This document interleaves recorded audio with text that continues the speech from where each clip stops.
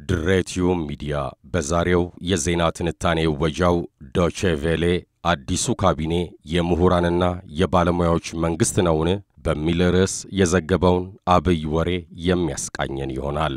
የኢትዮጵያ መንግሥት አዲስ ካቢኔ ማዋቀሩን ተከትሎ አስተያየቶች ከየአቅጣጫው እየጎረፉ ይገኛሉ። ጠቅላይ ሚኒስትር ኃይለማርያም ደሳለኝ አዲስ የሚያዋቅሩትን ካቢኔ የፓርቲ አባላት ያልሆኑ የምሁራንና የባለሙያዎች ወይም ቴክኖክራቶች ስብስብ እንደሚይዝ ጥቆማ ሰጥተው ነበር። የሚኒስትሮቹን ሹመት ከቃላት አንጻር የሚመዝኑ ጥያቄዎችን ማንሳት ጀምረዋል። በጠቅላይ ሚኒስትር ኃይለማርያም ደሳለኝ የካቢኔ መዋቅር ካሉ ሰላሳ ሚኒስትሮች መካከል ሲሶው ያህል ከከፍተኛ ትምህርት ተቋማትና ምርምር ማዕከላት የመጡ ናቸው። በሕዝብ ዘንድ እምብዛም ከማይታወቁት ከእነዚህ ተሿሚዎች ውስጥ የተወሰኑት ከሚመሩት ሚኒስቴር መስሪያ ቤት ጋር የተያያዘ የትምህርትና የሥራ ልምድ ያላቸው ናቸው። ሌሎቹ ደግሞ ከዚህ ቀደም በተቋሞቻቸው ያካበቱት የሥራ ልምድ እንደ መመዘኛ መስፈርት ተወስዶላቸዋል። ጠቅላይ ሚኒስትር ኃይለማርያም ለተወካዮች ምክር ቤት ከትናንት በስቲያ ሲናገሩ ዕውቀትና ክህሎት ያላቸውን እነዚህን ተሿሚዎች ለማግኘት ብዙ አፈላልገዋል።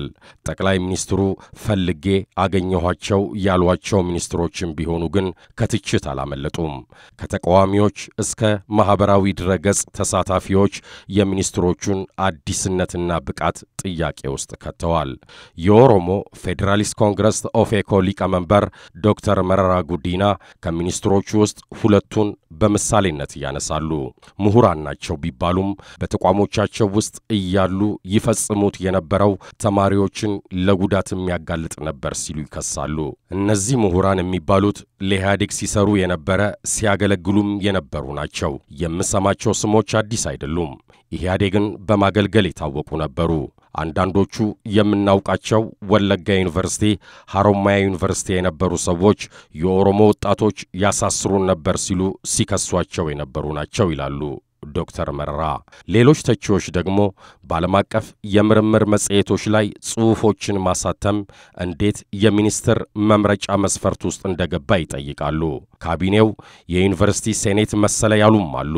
አንዳንዶች ከፍተኛ ትምህርት ተቋማትና ሌሎች መስሪያ ቤቶች ውስጥ ኃላፊ ሆኖ መስራት ሚኒስቴር መስሪያ ቤቶችን ከመምራት የተለየ እንደሆነ ተከራክረዋል። ከትናንት በስቲያው የካቢኔ ምስረታ ሹመት ያገኙት አዲሱ የኮሚኒኬሽን ጉዳዮች ሚኒስትር ዶክተር ነገሪ ሌንጮ ግን ሚኒስትሮቹ አቅም አላቸው የሚል ምልከታ አላቸው።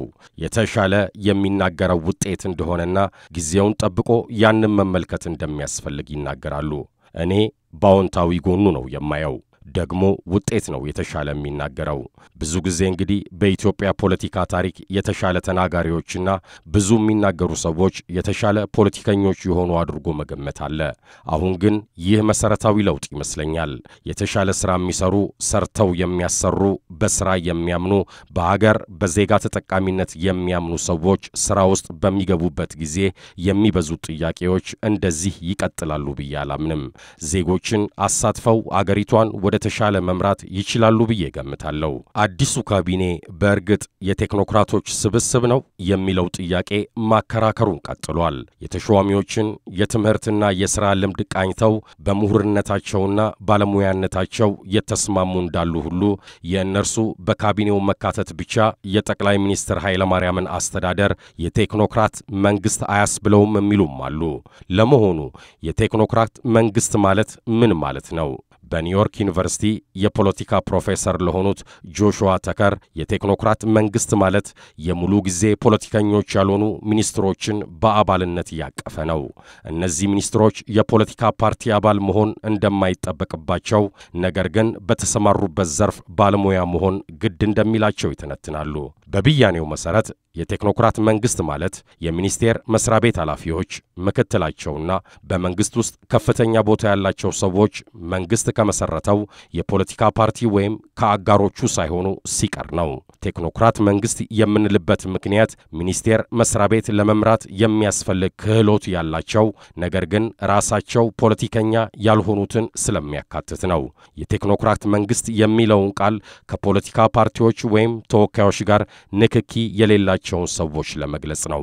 ሰዎቹ ባለሙያ መሆን ይኖርባቸዋል ብለዋል ፕሮፌሰሩ። ዶክተር ነገሪ የአዲሱ ካቢኔ አባላት ቴክኖክራቶች መሆናቸውን በልበ ሙሉነት ይመሰክራሉ። እነዚህ ምሁራን በእውነትም ቴክኖክራት ናቸው።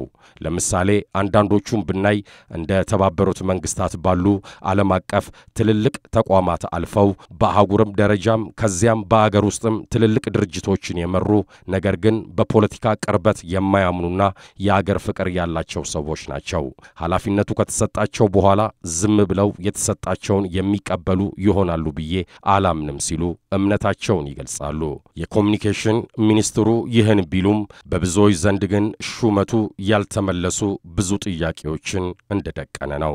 በቸር ያሰንብተን።